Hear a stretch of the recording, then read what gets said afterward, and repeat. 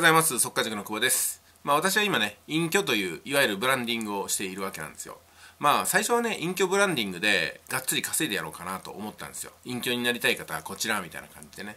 でもそんなことをする必要もなく私はその今の隠居暮らしというのが非常に楽しくって極力ビジネスを持ち込みたくないなっていう気持ちとあとね自然にやってても、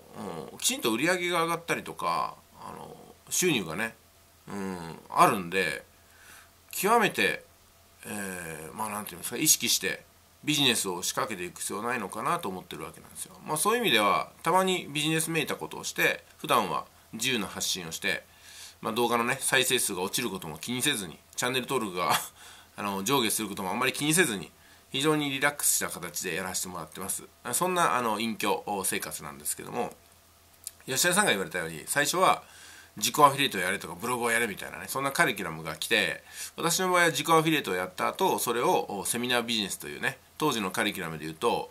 第1章から第3章をやってその後第17章というねセミナービジネスってところがあったんでそこをねやってですねいわゆるすっ飛ばしていったわけなんですよ。それ以来18章以降は未だに見たことがないと。もう今もうサイトとかなくなってるのかもしれませんねサポートサイトとか、まあ、そんな感じでねいただいたコンテンツのまあ、たくさんあったんですけどもその中の一つがもう私のね得意分野になった私を支えてくれたって形でスタートしました。速稼塾でございます。ということでね今回何が言いたいかっていうとまずね自分の得意分野切り札を1個持ちましょうっていう話なんですよ。で私はね自己アフィリエイトっていうものを自分の特技としてスタートしましたけどもいまだに自己アフィリエイトは得意ですね。でそこから全て派生してるんですよ。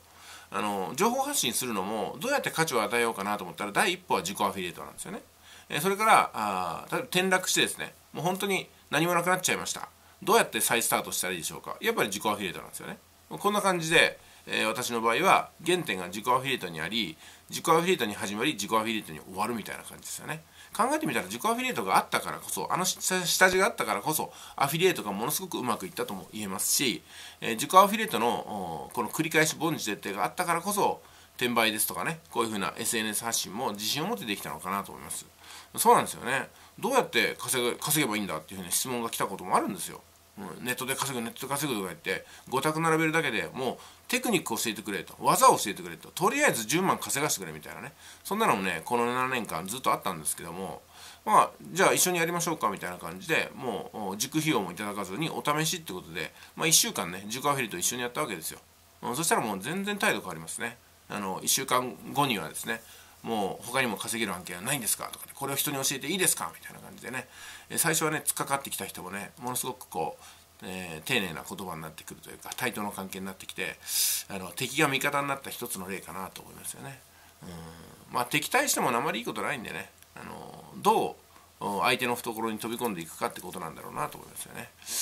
はい、えーと、いろいろと申し上げましたけどもそうですね。私なりに今振り返ってみると素材は与えられました。あの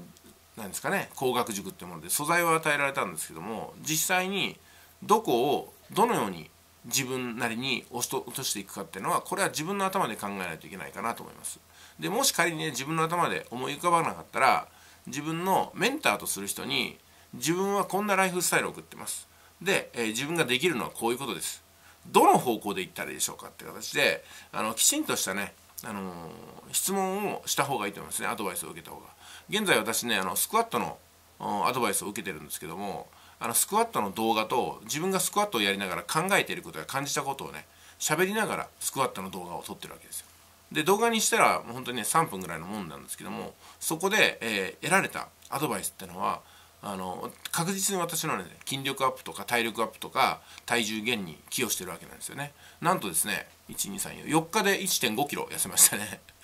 素晴らしい結果だと思います。4日で1 5キロ。はい、えー、本当にありがとうございます。これからも頑張っていこうかなと思います。で皆さんもね自分のルートは自分で引きましょう。それがビジネスです。最初は週張りの週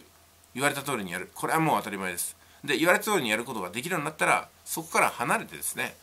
えー、やっぱこう新しい自分なりの発想を足していくっていうことに